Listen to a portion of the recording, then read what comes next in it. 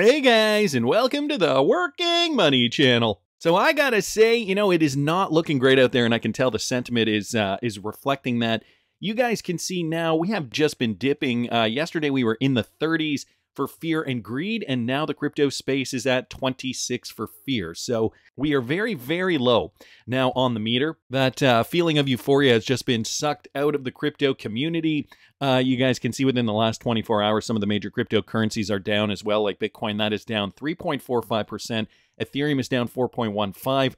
Uh, and some of the other major ones too, like BNB coin down about uh, two and a half, uh, Solana is down 3.2, XRP is down 2.2%. So what gives, guys? Are we going to get out of this? Crypto market has slipped significantly below $2 trillion. That is down another 2.41% uh, in the last 24 hours. Volume is up because we are seeing a sell-off but guys, Bitcoin, it's looking as though Bitcoin is actually selling off more than the altcoins.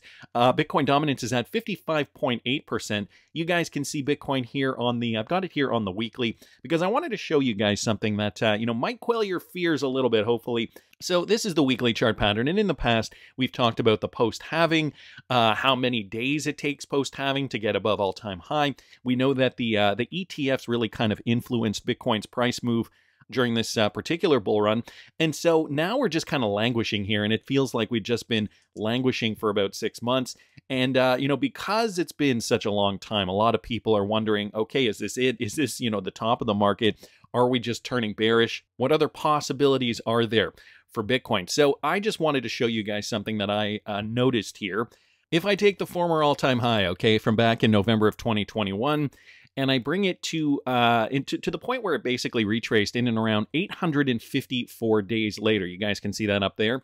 And if I were to take the uh, the former bull run, okay, so the top back in December of 2017, and bring that over to about uh, 850 some odd days, 854 days. Where does that bring us, guys? Check this out over here. Okay, that brings us right down in and around here. And uh, so this is the exact same time frame. And if I were to put a, uh, a price range tool on that, so if I were to take the high and bring it down here, guys, in the last cycle, we were still down 65% after 841 days. So you consider that, okay? And uh, now it's been actually longer than 854 days. And uh, at 854, we were back up, uh, retracing to all-time high. So let me just take that number here. Okay, I wanted to take the same measurement here and bring it down to where we are today. So further on in the cycling, guys, we are only down 21%. So uh, I know, you know, it does feel like, uh, you know, it's never going to happen, like the euphoria phase is never going to happen, but take a look what happened after the 854 days. We pretty much pumped for the next year, guys. And so I have no doubt that we are going to see the same thing during this bull run. I'm taking a look at all these different metrics for the Patreon subscribers, guys. You can find out what I'm doing at patreon.com slash working money channel. If you are interested in following my crypto trading journey, there's a lot of interesting factors involved in this crypto bull run. And so, uh, you know, seeing fear at 26 this is just gauging, uh, you know, what the sentiment is currently. Of course, there's a macro market situation that we have to be paying attention to as well. This from ITM Trading. From the Daniela Cambone Show, interviewing Robert Kiyosaki. He thinks the market is currently in free fall. What does this mean for cryptocurrencies? Well, listen to this. I mean, do you have any feeling as to when the timing, when it could hit, Robert? I mean, you saw what happened the first week of August, right? We had the crash, we had a crash and then everything kind of went away in the span of 48 hours or less than 48 hours. I mean, was that just a, a prelude of things to come? I mean, what's gonna what's gonna bring down the system? Well, again, what, what Rickards is saying here is really accurate. You know, he's just he says you can't see it. That's the problem. And the biggest markets in the world are the bond markets. And you every ask any financial planner, oh, should I buy bonds? Yes, they're safe. And the whole thing is coming down because it's all corrupt. And so that's why for all these years it's gold and silver. I own gold mines, silver mines, all that stuff. Robert, it could happen overnight, is what you're saying.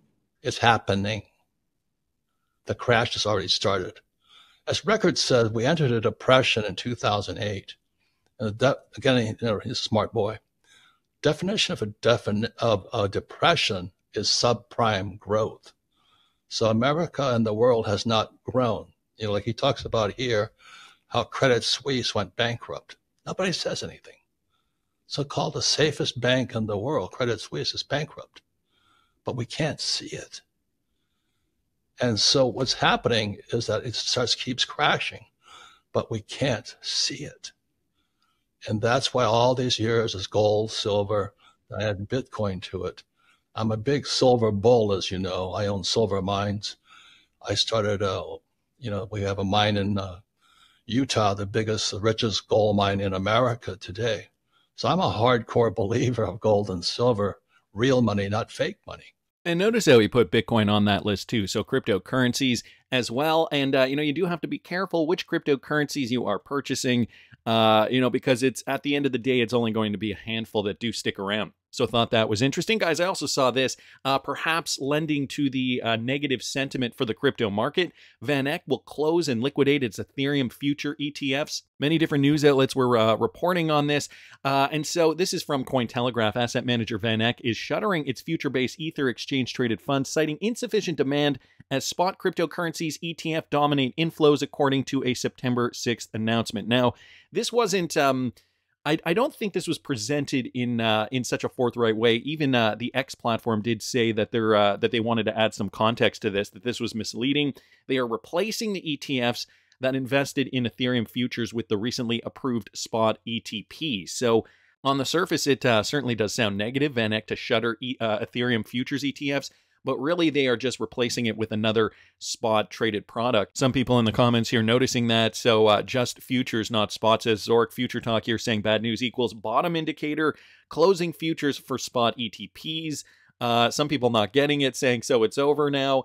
No, it is not over. It is not over. Uh, you know, cryptocurrencies are still going to do well. Again, remember, guys, we are only 21% down from that high.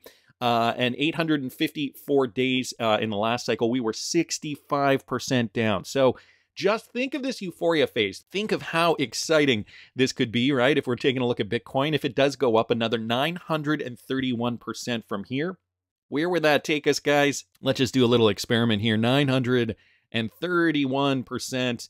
Uh, well, I don't think it's going to go that high. That is uh, extreme. It would be nice, though. $559,000 per BTC. I am not predicting that though. Uh, this one from Draco Magnus, and uh, just a bit of a public service announcement here. This is a warning of an active scam, guys. If you are involved with the uh, the Songbird or Flare token, uh, some people and projects will be identified in this thread, so everyone knows what is happening with evidence. Apparently, there is a a scam project called Flare Bank, and it's trying to associate itself with the Flare networks. Uh, apparently, this is a scam, so uh, just be careful, guys. He does give some more detail down in here. I'm not going to go over it in uh, in full detail on the channel, but I will link this in the description of the video for you guys. Just remember Flarebank, the website apparently is uh, flrbank.com.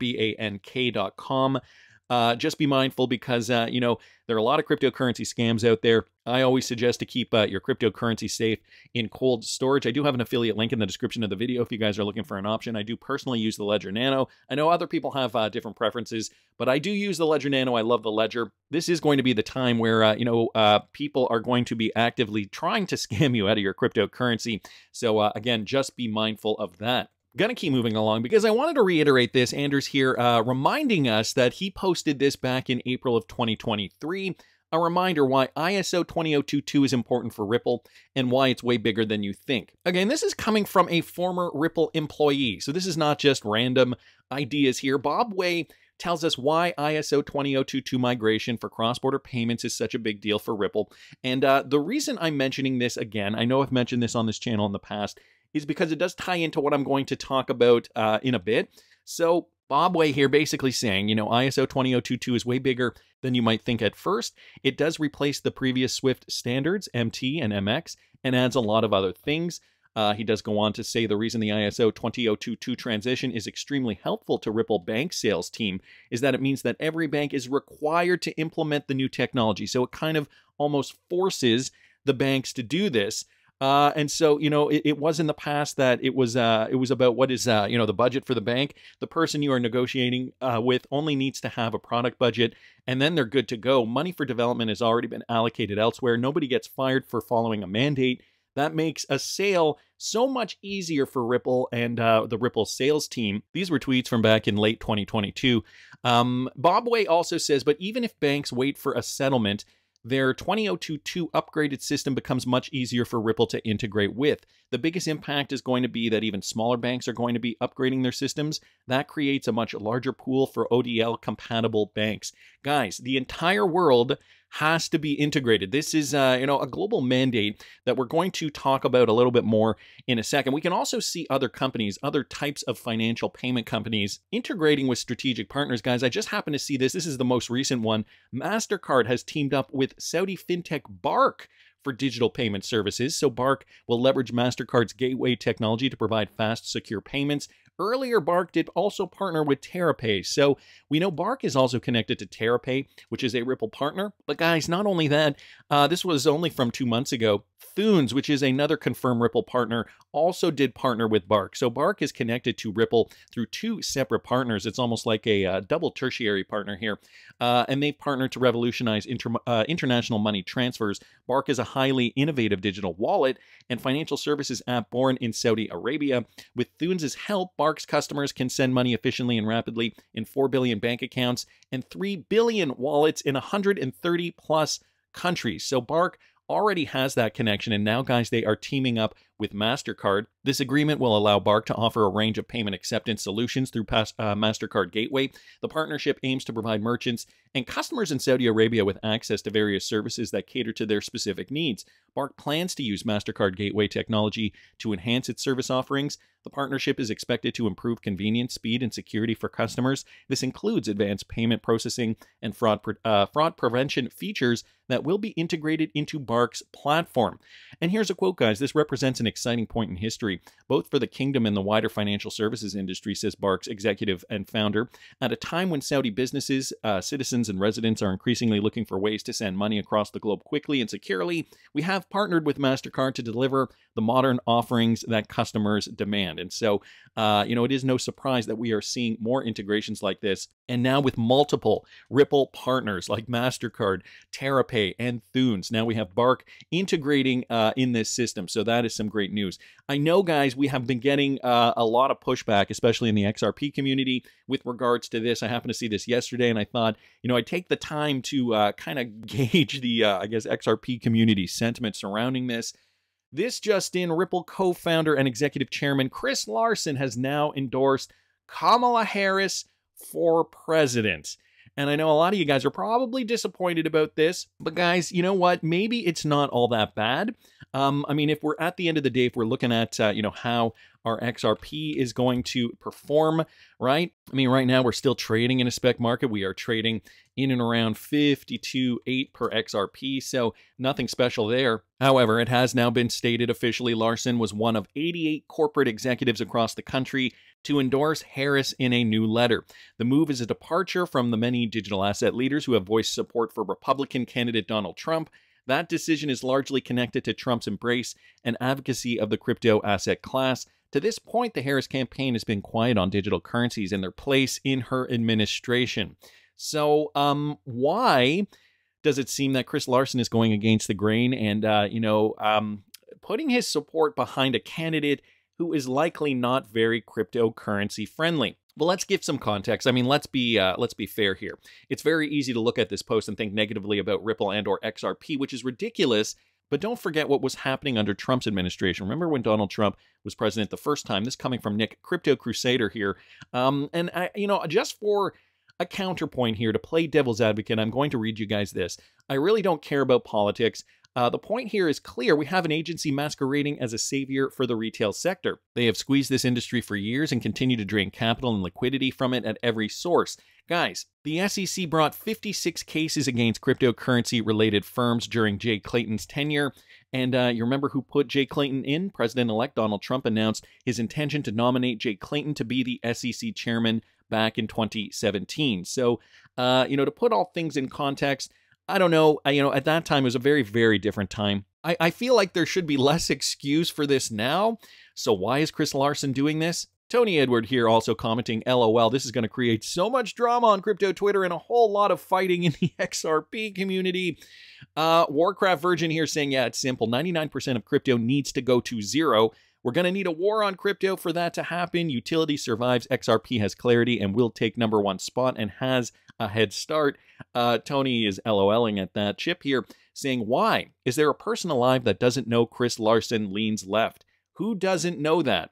So that is another very interesting point here, and I think a very important point to make. Guys, Ripple has been, and I know I've talked about this several times on this channel, Ripple has been a partner of the World Economic Forum for a very long time. And if you've seen videos I've done on the WEF and Klaus Schwab, etc., you know where I'm going with this. Brad Garlinghouse has also made appearances at Davos uh, at the World Economic Forum's annual meeting. So that is, uh, you know, it's, it's very apparent. Chris Larsen also himself a member of the World Economic Forum. So you know, when we're seeing, uh, you know, these types of candidates running against Donald Trump, is it any surprise? Is it any surprise? I mean, um, I'm not surprised, but that's because for Chris Larsen and everybody over there at Ripple, this is a bit of a different game. For a lot of the other cryptocurrency advocates, they are advocating for a fair uh, playing field, you know, level playing field in the United States so that cryptocurrency can develop at a great pace. But guys, many people do think already that Ripple does have it in the bag, that they're already the chosen ones. And, you know, this is, you know, this kind of does point to that fact. You know, if Chris Larsen is clearly advocating for a crypto candidate that uh, we know has been negative on crypto in the past. We know the former Biden administration was no good. We know Gary Gensler is no good.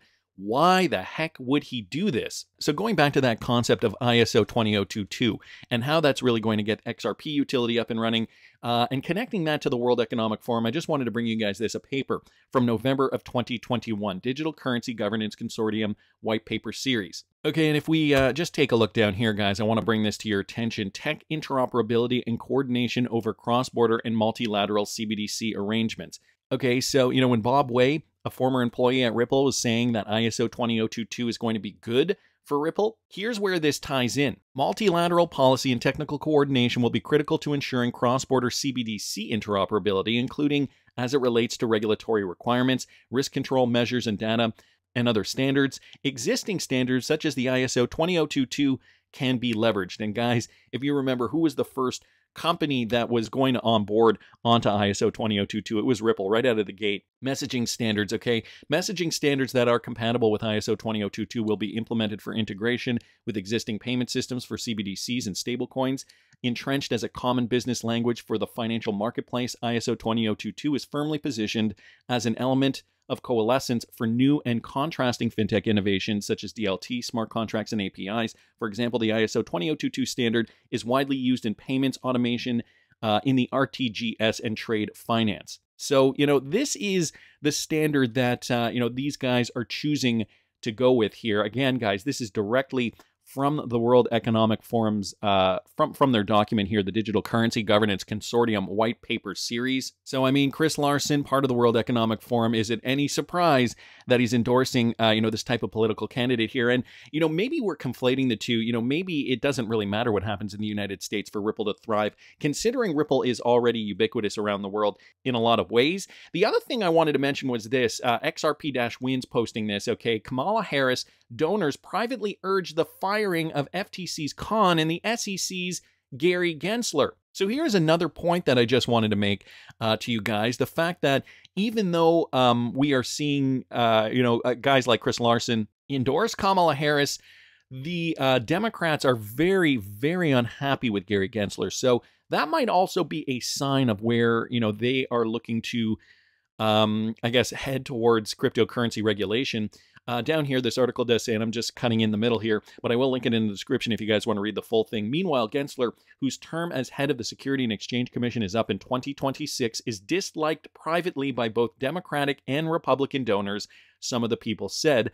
Gensler has pushed for tougher regulations, but donors have particularly bristled at uh, at what they perceive as him talking down to Wall Street the people said. Billionaire Mark Cuban, a supporter of Harris, told CNBC this week that the SEC needs to change and that he's asked the vice president's team to put my name in for the SEC. Donald Trump pledged at a crypto conference that if he were elected, he would fire Gary Gensler. So, um, despite what people think, uh, even though he was put in at a time, a very different time. We got to remember uh, when Biden, uh, you know, was first in. Guys, it's very, very different now than it was back in 2017, 2018. Uh, in 2020, even times have changed quite a bit, and now the Democrats and Republicans are very anti Gary Gensler. So when we look at the crypto sentiment being fear in the space, we have to remember to ourselves, guys, smart contracts on the XRPL, remember that news from the other day, and the Chris Larsen endorsing Kamala Harris news. Those are two stories that completely expose the emotional state of the crypto community. I don't have long commentary on either subject, but neither dictates anything significant in the long run. So just remember, guys, we are still in a bull run. This is all really just noise before we make our way to the top. And, uh, you know, even just bringing up that Bitcoin chart again, remember we are only 21% off those same numbers if we were to extrapolate to the bull run previous, where at this point in time we were down 65%. So sentiment was low at that point as well. Just remember, and this coming from Smoke, he says, I assess, I research, I learn, I improve, and visualize what the masses are missing and guys, that could be the bigger picture, the real outlook, the underlying meanings. Uh, that's where my focus goes, and when the herd moves in one direction, I double down on what matters, what's truly relevant, and ignore what emotionally influences the majority. The biggest takeaway from all this 99% will get wrecked this cycle because they've yet to learn any form of emotional regulation during their crypto journey.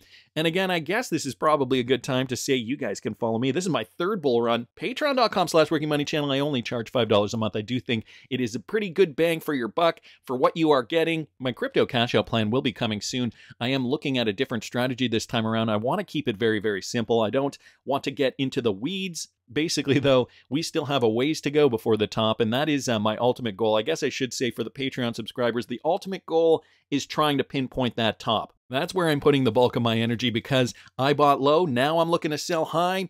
But that's just my opinion. I want to hear what you guys think. Please subscribe to the channel if you haven't already. Like the video if you like the content I'm providing. I always love hearing your comments. See you in the next one, guys.